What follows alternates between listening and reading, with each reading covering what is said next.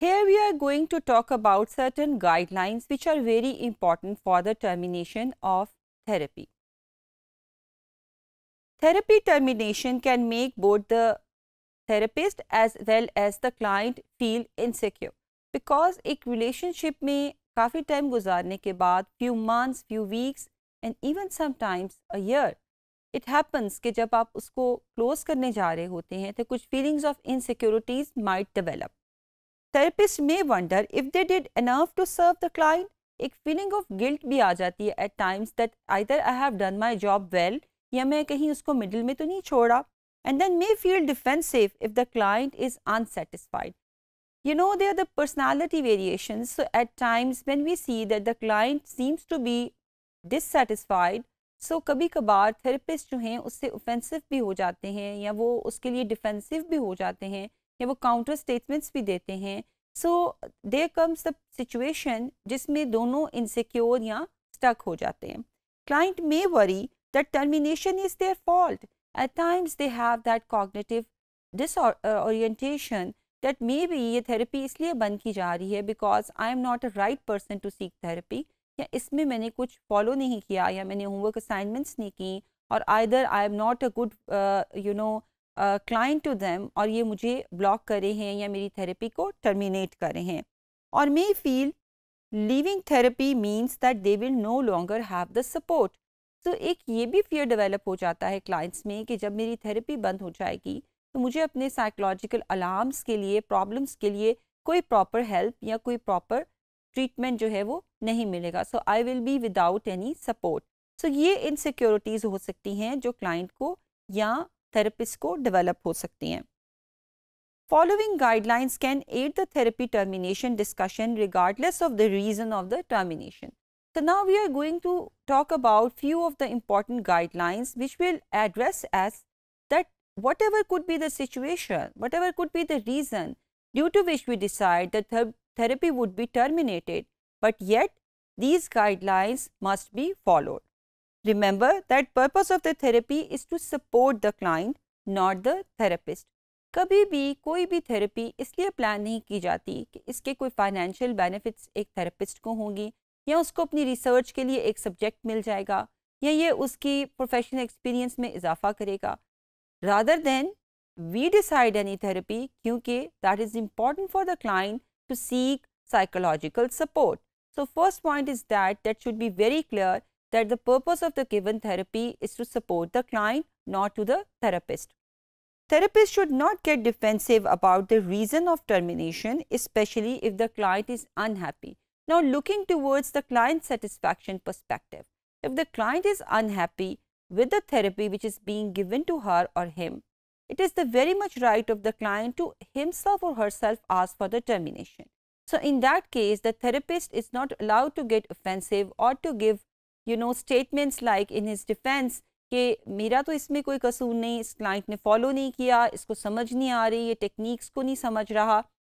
इसको एक्सेप्ट करना is an ethical responsibility of the therapist कि अगर उसका क्लाइंट अनहैप्पी है तो उसको वो थेरेपी कंटिन्यू नहीं करनी now do not argue with the client और use the discussion to ease out your own hurt feelings. This will actually, you know, ruin the very purpose of the therapy. अगर एक client जो अपनी ही बहुत सारे problems का शिकार होकर आपके पास आया है और थेरेपिस्ट अपनी ईगो इश्यूज़ की वजह से उसके साथ प्रॉब्लम्स क्रिएट कर लेता है और उसकी उसकी साथ अपनी हर्ट फीलिंग्स जो है वो इन्वॉल्व कर लेता है कि उसे एक रिजेक्शन का सामना करना पड़ा है तो it would be a very lose lose situation you know एक तो क्लाइंट पहले ही अपनी लाइफ में रिजेक्शन फेस करके आ रहा है बहुत सारा लॉस फेस फेस करके आ रहा है साइकोलॉजिकल ट्रामास फेस करके आ रहा है। उसके बाद अगर थेरेपिस्ट अपने रिजेक्शन की फीलिंग कि वो उसको क्लाइंट उसके साथ काम नहीं करना चाहता उससे थेरेपी नहीं लेना चाहता उसमें एड ऑन कर देगा तो ये उसकी सफरिंग्स में मज़ीद इजाफा हो जाएगा। Be compassionate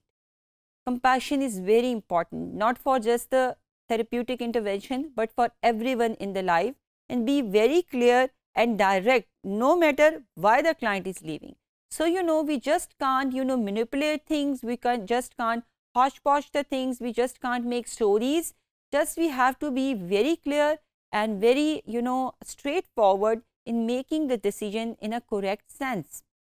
Never blame the client, even if you must terminate therapy because the client is difficult or you are not a good fit. In any cases, अगर आप एक अच्छे therapist नहीं हैं या client एक अच्छा client नहीं है, दोनों situations में you can never blame as a therapist to the client that the therapy is being terminated because the client is not a conducive individual. Do not abandon a client without warning. हम ये नहीं कर सकते कि middle of the therapy as a therapist uh, की calls देना बंद कर दें उनके मैसेजेस का जवाब देना बंद कर दें उनको थेरेपी की डेट्स देना बंद कर दें बिकॉज़ इस तरह से करना एक बहुत बड़ा एथिकल क्राइम कंसिडर किया जाता है Be willing to answer question about therapy termination the client has all rights to ask के थेरेपी क्यों टर्मिनेट हो रही है क्या रीजन हैं इनफैक्ट आपको उसको प्रॉपर ब्रीफ करना होगा such as where client can seek additional help if necessary because he is not the expert. The therapist is the expert. The therapist has to explain that what could be the alternative possibles where the client can seek help. This is the very very important responsibility कि आपने उसको mean while ये बताना होगा, जब आप उसको therapy terminate करें कि अब उसको फर्दर हेल्प कौन करेगा if necessary refer a client to a highly qualified therapist who specializes in their issues. This is very much obligatory कि उसको एक बहुत अच्छा थेरेपिस्ट रिकमेंड किया जाए कि उसके इश्यूज़ और उसकी सेंसिटिविटी को समझता हो और उसके बाद उसको टर्मिनेशन के बारे में बताया जाए Now, termination therapy can offer opportunities for therapeutic intervention. At times जब हम इस थेरेपी को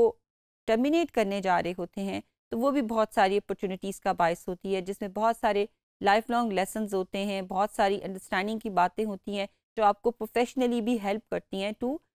self into a better therapist also the clients who struggle with grief attachment and loss may need help managing the termination process वो clients जो already इस तरह के traumatic events से एक्सपीरियंसेस से गुजर रहे होते हैं, जब वो टर्मिनेशन प्रोसेस को अंडरस्टैंड करते हैं तो बाय डिफ़ॉल्ट ये टर्मिनेशन का प्रोसेस उन्हें अपनी लाइफ के बाकी ग्रीफ लॉस और अबंडननेस को समझने में भी हेल्प करता है so it's a two way process which is, if done with a very technical way, in a very ethical manner, is going to support both the client and the therapist.